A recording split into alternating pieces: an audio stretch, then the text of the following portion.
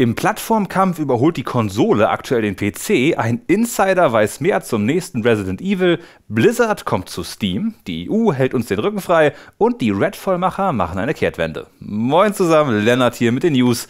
Wer in den Kommentaren errät, auf welche Spieleserie mein neues T-Shirt anspielt, bekommt den dieswöchigen No-Price und wir beginnen mit den Gaming-Nachrichten.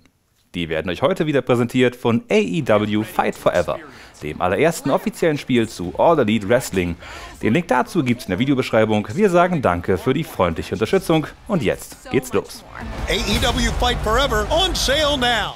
Es gibt immer weniger PC-Spieler. Das zeigt eine neue Studie des Verbands der deutschen Games-Branche Game. Während Konsolen einen wahren Höhenflug erleben, verliert der Computer immer mehr an Bedeutung. Aktuell spielen in Deutschland rund 12,9 Millionen Menschen Videospiele am PC. Gegenüber dem Vorjahr 2022 sind das etwa 1,4 Millionen Gamer weniger. Deutlich mehr werden es dagegen auf den Konsolen. Mit 18,9 Millionen Nutzern liegen sie weit vorne. Aber immer noch auf Platz 2 hinter dem Smartphone. Zwar spielen dieses Jahr weniger Leute Handyspiele als im Vorjahr, dennoch sind in Deutschland ganze 22,8 Millionen Spielende auf ihren mobilen Endgeräten in virtuellen Welten unterwegs. Absolut sind diese Zahlen allerdings nicht. Das heißt, es waren Mehrfachnennungen möglich, wenn man zum Beispiel auf Switch, PC und Smartphone spielt. Dass Handy-Gaming sehr beliebt ist, zeigt der Umsatz der Smartphone-Titel aber trotzdem. Die machten im laufenden Jahr nämlich 2,8 Millionen Euro Umsatz und unglaubliche 99 Prozent davon in Form von Ingame-Käufen. Aber bevor ihr jetzt auf die Free-to-Play-Handyspiele herabschaut, auch 70% der PC-Umsätze fallen auf Ingame-Käufe ab. Bei den Konsolen kommen 41% aus klassischen Spieleverkäufen und 31% von Abo-Diensten wie PS Plus oder Game Pass. Worauf zockt ihr am meisten und überraschen euch diese Zahlen?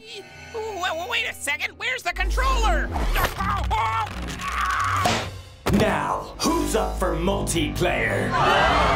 Das nächste Resident Evil ist vielleicht nur zwei Jahre entfernt. Das sagt zumindest ein bekannter Insider, Dusk Golem, der sich immer wieder zu Horrorspielen äußert. Der wurde auf dem Discord The Snitchers nämlich gefragt, ob er weiß, wann Resident Evil 9 erscheint. Seine Antwort? 2025. Mit einer Ankündigung rechne er aber schon nächstes Jahr. Ein Release in diesem Jahr würde sich zumindest mit den bisherigen äh, Release-Terminen von Capcom decken. Resident Evil 7 erscheint 2017, zwei Jahre später folgte dann Resident Evil 2 Remake, zwei Jahre danach kam Village und nochmal zwei Jahre später erschien 2023 dann Resident Evil 4 Remake. Auch das äh, stetige Wechseln zwischen neuen Spielen und Remakes bliebe so erhalten. Nach den Story-Ereignissen aus Resident Evil Village verlassen wir mit dem neunten Teil wohl auch die Winters-Familie und können uns auf neue Protagonisten freuen. Oder vielleicht holt Capcom ja ein paar alte Bekannte wieder, wie Jill oder Leon. Außerdem ändert sich ja vielleicht auch im Setting etwas. Resident Evil 7 brachte uns schließlich statt Infizierten die wahnsinnige Baker-Familie und Resi 8 drehte mit seinen mythologischen Gegnern den Wahnsinn doch mal ordentlich auf. Welcome to the family, son. Blizzard-Spiele gibt's bald endlich auch auf Steam. Wie Blizzard angekündigt hat, soll eine Auswahl ihrer Titel demnächst auch ihren Weg auf Valves Plattform finden. Den Anfang macht der Free-to-Play-Shooter Overwatch 2. Der erscheint am 10. August für Steam, weitere Spiele sollen folgen. Von Blizzard-Präsident Mike Ibarra heißt es, während Battle.net weiterhin eine Priorität für uns bleibt, wollen wir sicherstellen, dass die Spielenden auch gerne Steam für eine Auswahl unserer Spiele zur Verfügung haben. Wir arbeiten mit Valve zusammen, um das möglich zu machen. Auf Battle.net verzichten könnt ihr damit allerdings trotzdem nicht, denn ähnlich wie bei Spielen von EA oder Ubisoft liegt auf eurem bei Steam gekauften Overwatch 2 dann einfach zwei DRMs. Ihr braucht den Battle.net-Account nämlich zwingend, um Overwatch 2 zu spielen. Blizzard sagt, nur so sei Crossplay möglich. Der Wechsel zu Steam dürfte aber gerade für Fans des Steam Decks bequem sein, denn um zum Beispiel Diablo 4 auf dem Deck zu spielen, musste man bisher noch durch einige Reifen springen und den Titel als Drittanbieterspiel hinzufügen. Sollte Diablo auch irgendwann zu den Blizzard äh, Steam-Spielen gehören, dann hätte sich das erledigt. Der Overwatch 2 Release am 10. August auf Steam fällt unterdessen mit dem Launch der neuen Overwatch Season Invasion zusammen. Die soll neben einem neuen Helden auch neue Story-Missionen hinzufügen. So Nachdem der vermeintliche Leak der Switch 2 gestern sehr offensichtlich gefälscht wirkte, kann ich euch zwar immer noch nicht sagen, wie Nintendos nächste Handheld aussieht, aber ein Feature wird er auf jeden Fall haben.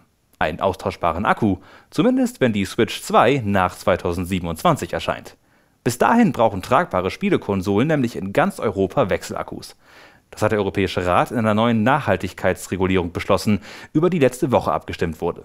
Demzufolge müssen Hersteller dafür sorgen, dass KonsumentInnen mit Werkzeugen an den Akku rankommen und auch Anleitungen und Sicherheitshinweise beilegen. Handhelds sind in der neuen Regulierung zwar nicht namentlich erwähnt, aber gegenüber der Gaming-Webseite Overkill bestätigte die EU noch einmal, dass portable Konsolen Teil dieser neuen Regelung sind. Für Smartphones und Tablets gilt das übrigens genauso. Ziel ist, die Auswirkungen von Batterien auf die Gesellschaft und Umwelt zu reduzieren. Batterien müssen in Zukunft dann aus einem festen Minimalanteil an recyceltem Material bestehen. Die Quoten für Lithium-Batterien liegt zum Beispiel bis Jahresende 2027 bei 50 Prozent. Aktuelle Konsolen scheinen von den neuen Regulierungen übrigens nicht betroffen zu sein.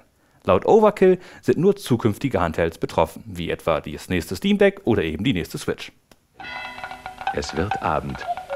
Eine Batterie nach der anderen gibt auf. Und als der nächste Morgen kommt, trommelt nur noch eins. Kehren die Dishonored-Macher nach dem Flop von Redfall bald wieder zu Singleplayer-Spielen zurück? Das lässt auf jeden Fall ein neues Jobangebot bei Arcane Austin vermuten, auf das PC Games N gestoßen ist. Das Studio hinter Redfall, Dishonored, Prey und Deathloop sucht gerade nach einem neuen Lead Technical Engineer, der oder die sich beim Studio um die Entwicklungstechnologie kümmern soll. Spannend sind aber vor allem die Skills, die dieser Mensch dafür mitbringen muss. Denn neben der Kenntnis von Lichtsetzungsmethoden und Erfahrung mit Online-Features steht er auch, soll mit Singleplayer-Action-RPGs und Immersive Sims vertraut sein. Das spricht natürlich sehr dafür, dass Arcane Austin in Zukunft wieder Einzelspielererfahrungen bauen will. Ihr letztes Spiel Redfall fuhr hauptsächlich schlechte Kritiken ein, mit einem Metacritic-Score in den niedrigen 50ern. Vor allem das repetitive Gameplay und jede Menge technische Probleme haben dem Spiel das Genick gebrochen. Vor einer Weile hatte Xbox-Studiochef Matt Booty noch einmal betont, dass es trotzdem keine Pläne gäbe, Arcane Austin zu schließen und das Joblisting klingt so, als würde sich das Studio nun wieder auf das besinnen, was sie groß gemacht hat. Austin wurde erst 2021 Teil von Microsoft, als der Windows-Konzern Bethesdas Mutterfirma ZeniMax übernommen hat. Da war Redfall bereits in Entwicklung und Xbox-Chef Phil Spencer bedauert im Nachhinein, dass man nicht mehr Einfluss auf die Produktion des Spiels genommen hat. Like und das war's. Habt ihr Bock auf neue Arcane Austin Singleplayer-Games? Und wo spielt ihr am liebsten? Nach zwei Jahren Konsolenfokus ertappe ich mich ehrlich gesagt dabei, wieder häufiger PC zu spielen. Äh, apropos Spiele. Zu dem Thema habe ich jetzt noch zwei heiße Videoempfehlungen für euch. Wie wäre es zum Beispiel mit unserem Test zum neuen Pikmin? Das hat unseren Autor Martin nämlich ganz schön in die Bredouille mit seiner Tochter gebracht. Oder ihr schaut unseren GameStar Talk zu den Gewinnern und Verlierern der ersten, des ersten Spielehalbjahrs an. Morgen steht hier wieder Paul, seid nett zu ihm und sagt ihm Moin. Bis dahin, Liebe geht raus.